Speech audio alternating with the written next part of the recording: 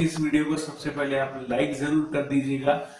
और अगर आपने हमारे चैनल को सब्सक्राइब नहीं किया है तो हमारे चैनल को ज़रूर ज़रूर सब्सक्राइब कर दीजिएगा, क्योंकि हम इसी तरह के इनोवेटिव आइडिया लाते रहते हैं।